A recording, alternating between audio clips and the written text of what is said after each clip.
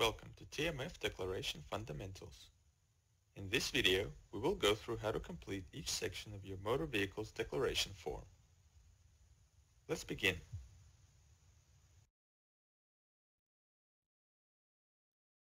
Select the motor vehicle's declaration form from your task list.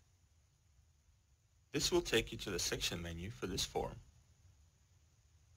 At the top of the screen, you will see which declaration form you are currently in, as well as your agency name and details of this year's declaration campaign. If any of these details are incorrect, please contact your internal TMF declarations coordinator or your iCare client engagement manager. There are a total of three sections in the motor vehicles form. Motor vehicles by category, motor vehicles indemnity, and the excess franchise sections. If you're a coordinator, all three sections will initially be assigned to you, and you can choose to either complete them yourself or delegate any number of them as required. If you're a delegate, you will only see the sections that have been assigned to you by your coordinator. Let's now have a look at each section in a bit more detail. Click on the Motor Vehicles by Category section.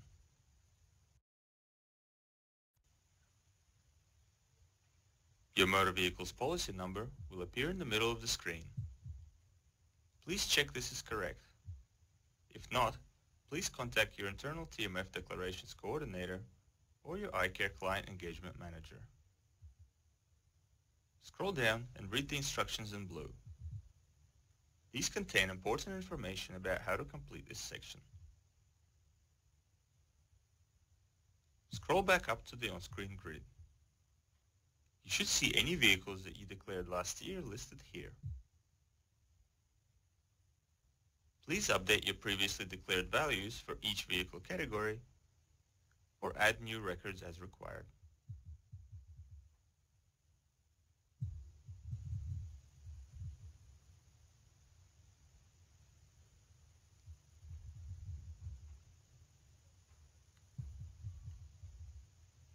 If you have any special vehicles, or any vehicles with an individual replacement cost exceeding 200,000, please make sure to declare them in this grid. For detailed guidance on what is required for each field, click on the Download Instructions button in the section menu or refer to the links provided at the end of this video. If the total volume or the total replacement value of all your declared vehicles varies by over 15% compared to the previous year, you will be asked to provide an explanation for this variation. Please provide clear and detailed answers. You will then be asked to confirm if your agency owns or leases any special vehicles or any vehicles with an individual replacement cost exceeding 200,000. If you answer yes to either of these two questions, you will be asked to provide additional detail for these types of vehicles either on screen within the declaration system or by populating a system-generated Excel template and uploading it back into the system.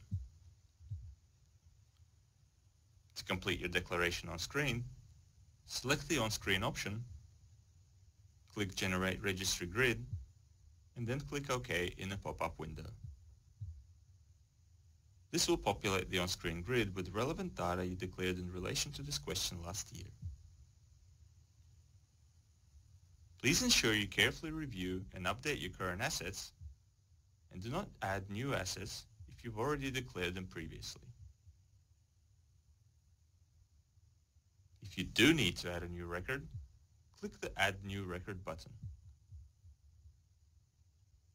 To delete a newly added record, click on the blue trash icon on the left of the row. The on-screen grid has a combination of free text and drop-down fields including mandatory fields which will show up in red. As a minimum, you will need to populate the mandatory fields to be able to complete this section. For detailed guidance on what is required for each field, click on the Download Instructions button in the section menu or refer to the links provided at the end of this video. If you want to edit a specific asset, you can click Ctrl F and search for a keyword. Please note, this will only search for the records displayed on the page. You can also sort the contents of each column in ascending or descending order by clicking on the heading of that column. This may be a good way to check for duplicates. Please do not delete any previously declared line items. If you no longer own or have an interest in a particular line item, please mark the status of that line item as inactive. To help you navigate the grid, use the navigation controls at the bottom to scroll left and right, select the number of records to be displayed per page, or toggle between pages if these controls are available. You can also press Tab on your keyboard to move left to right along a row when entering data. You can also lock individual columns in the grid by clicking on the lock icon in the column heading. This only works from left to right. To make it easier to view your on-screen registry grid, you can expand it into full screen view by clicking on the blue box at the top of the grid. To exit this view, click on the blue box again. If at any time you need to save your progress or exit your session, click on the Back to Menu button on the bottom left of your screen. This will automatically save any data you have entered in the section so far and will return you to the section menu.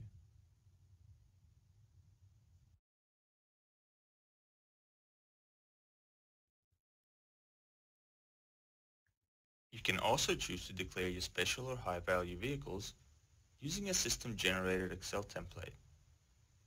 To do this, select the Excel template option. Please note, if you decide to switch from the on-screen option to the Excel template option halfway through entering your data, any changes you've made in the on-screen grid will be lost. Once you select the Excel template option, click Download Data Entry Spreadsheet. Please allow a bit of time for the Excel template to download.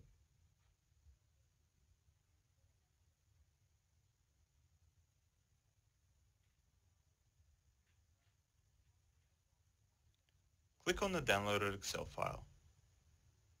Please allow a bit of time for the Excel file to open.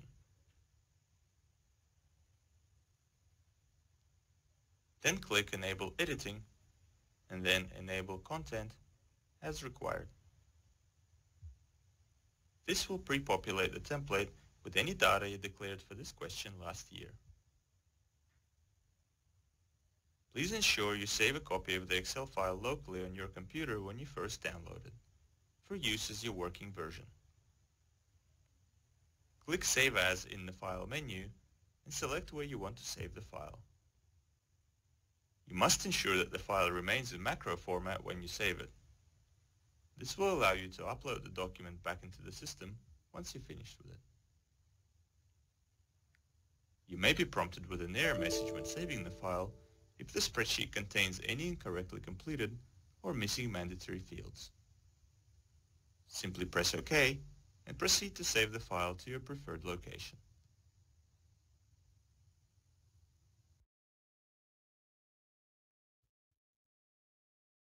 You can now edit the data in Excel or add new records as required.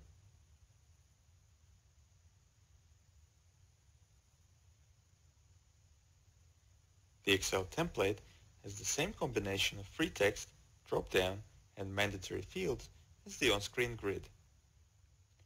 For detailed guidance on what is required for each field, click on the Download Instructions button in the section menu or refer to the links provided at the end of this video.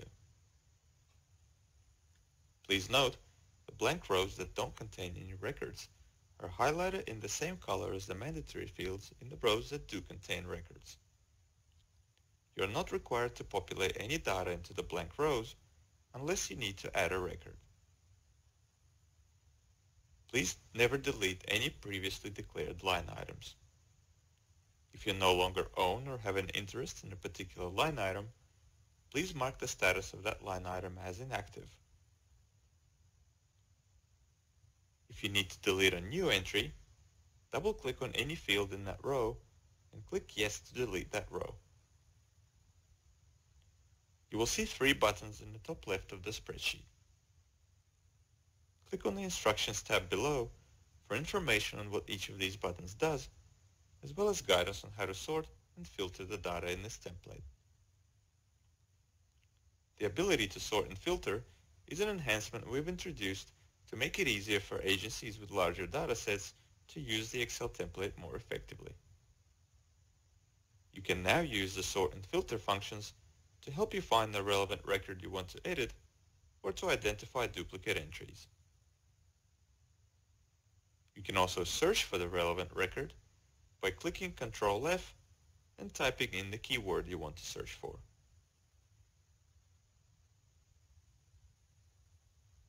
The Validate button will run a check on the template for any incorrectly entered or missing mandatory fields and will produce an error message if any are found. The relevant fields will be marked with a comment for your attention. To locate the fields that contain errors, go to the Review tab and press Next Note or Next Comment to go to the next field that needs to be updated. The validation check will also automatically run every time you save your Excel file. For additional detail on the types of errors flagged by the validation check, please refer to the instructions document in the section menu. The Reset button will reset the contents of the spreadsheet back to what was originally generated by the system. This will remove any changes you may have made since you downloaded the spreadsheet. You cannot undo a reset. The only way to recover your changes is to exit without saving to go back to the last saved version of your spreadsheet. The Clear button will delete all data in the spreadsheet. You cannot undo a clear. You can only reset to the original downloaded content or exit without saving to go back to the last saved version of your spreadsheet. You should not need to use the reset or clear functions to complete your declaration. We suggest to avoid these altogether and to only use the validate, sort, and filter functions as required.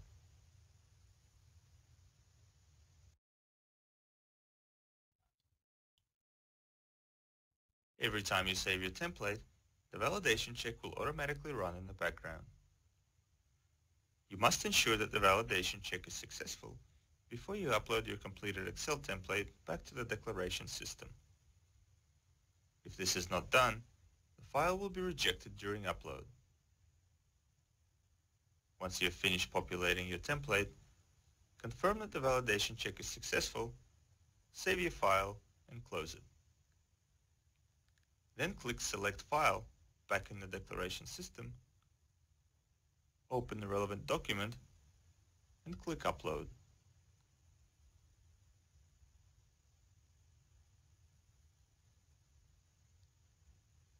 If you upload the wrong file, you can delete it by clicking on the black bin icon next to the file name. Please note, if you switch back to the on-screen grid, after you have uploaded your completed Excel template, your uploaded file will be removed. It is best to determine upfront which completion method works best for you so that you don't have to switch later on. Once you have entered all the required details in this section, the Complete Section button will appear on the bottom right of your screen. Click this to go back to your list of assigned motor vehicles form sections. The section you have just completed will be marked with a pink checkbox. Its status will be updated and the section will be locked. If you need to go back and edit any content in this section, you will need to first click on the pink checkbox to unlock it.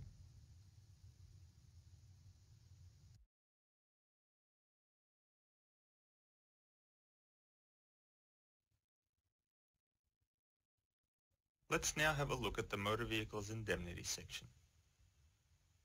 Select Yes if you are declaring any motor vehicles in this year's declaration.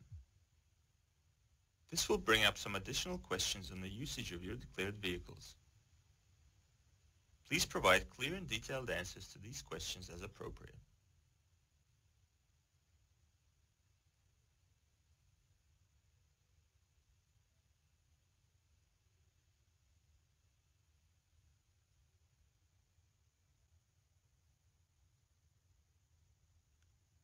Once you have entered all the required details, the Complete Section button will appear on the bottom right of your screen. Click this to go back to your list of assigned motor vehicles form sections.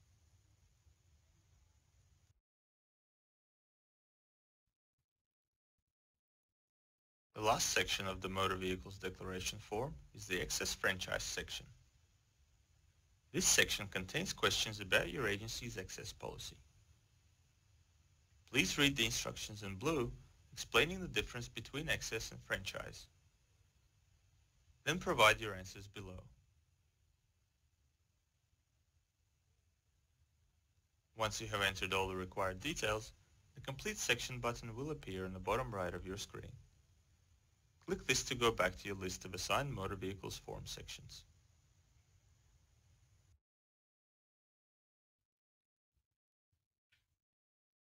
Can download a PDF copy of your declaration form at any time by clicking the Download PDF button, which is available within every section of every declaration form.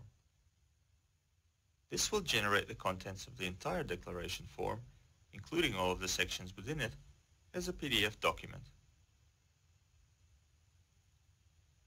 You can use this function to support your internal review and approval processes or for general record keeping. We recommend downloading a PDF copy once all form sections have been completed and saving the file to your preferred location.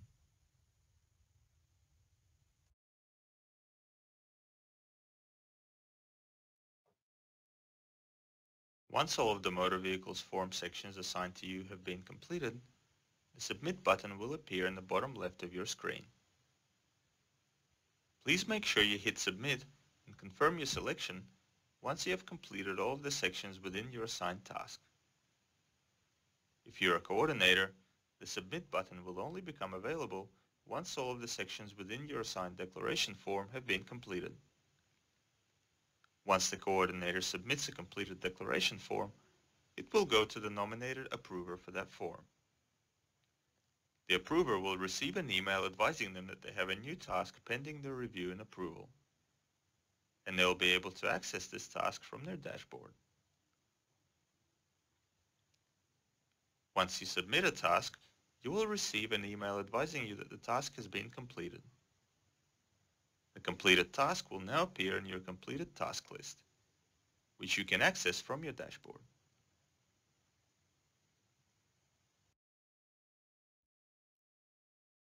For additional guidance and videos on how to navigate and perform operations within our online declaration system, including instructional videos and cheat sheets on completing specific declaration forms, please follow the links on this page.